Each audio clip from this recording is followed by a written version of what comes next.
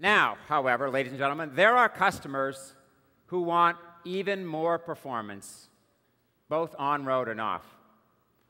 For that, let's take a look at two brothers who might best be described as the Boz couple.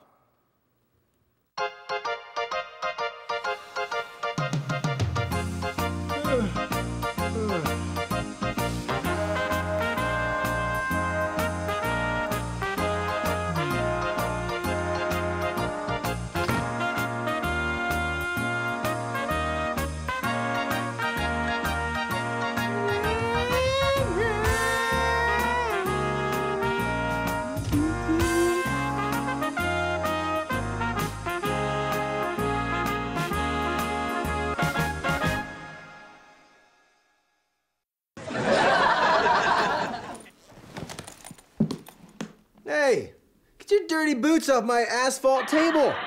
Oh, Ben, you and your obsession with the asphalt. Hey, it's better than your proclivity for the dirt. Did you just say proclivity? Now let's get serious, brother. You know how much you both love those light flickable 250s.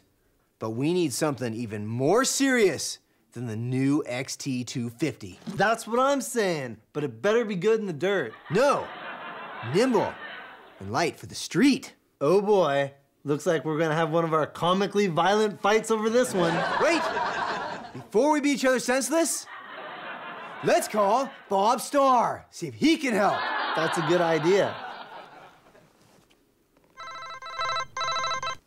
Hello? Bob, it's Ben.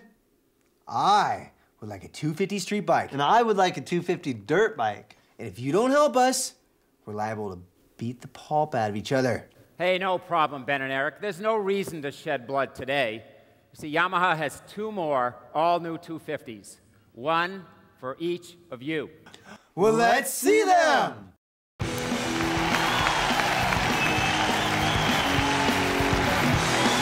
Introducing the all new WR 250R Dual Sport and WR 250X Supermoto and our very own Boz couple.